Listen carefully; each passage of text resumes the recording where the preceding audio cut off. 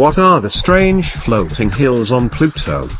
New image reveals mysterious extraterrestrial icebergs several miles wide.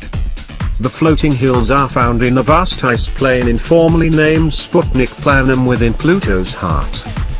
They are likely miniature versions of the larger, jumbled mountains found in Sputnik's western region follows news last week that Pluto may be covered in a lot more water ice than astronomers first thought.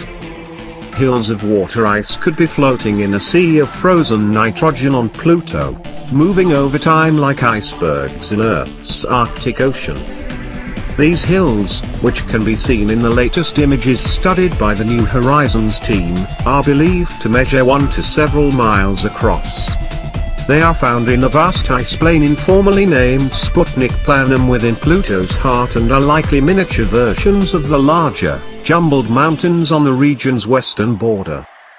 Their discovery follows news last week that Pluto may be covered in a lot more water ice than astronomers previously thought, which could boost the chances for finding a liquid sea and alien life. Hills of water ice on Pluto float in a sea of frozen nitrogen and move over time like icebergs in Earth's Arctic Ocean. This shows the inset in context next to a larger view. The resolution is about 1050 feet, 320 meters per pixel and 300 miles, almost 500 kilometers, long and 210 miles, 340 kilometers, wide. It was taken 9,950 miles, 16,000 kilometers, from Pluto, 12 minutes before New Horizons' closest approach to Pluto on July 14. Chains of the drifting hills are formed along the flow paths of the glaciers.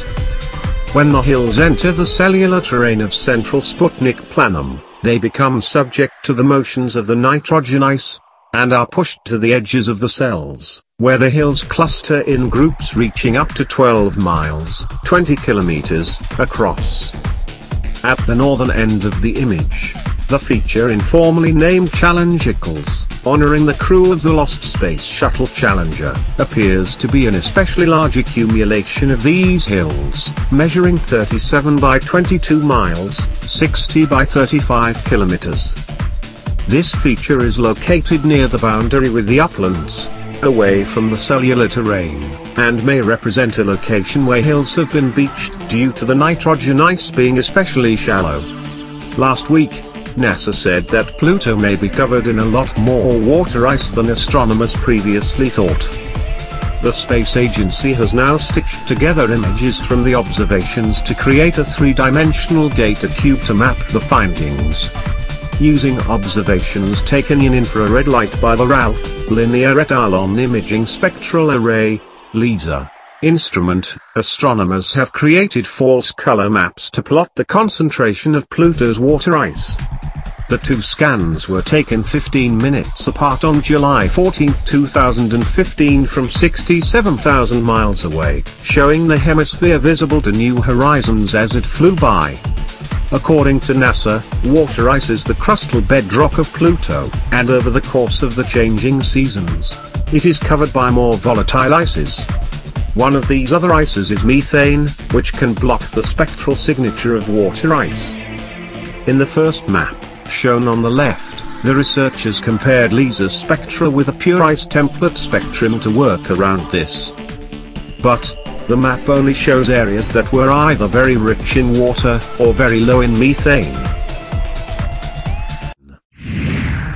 Thank you for watching. Please subscribe to us on YouTube, Facebook and Twitter. You can visit us on www.therealthingmeme.webs.com.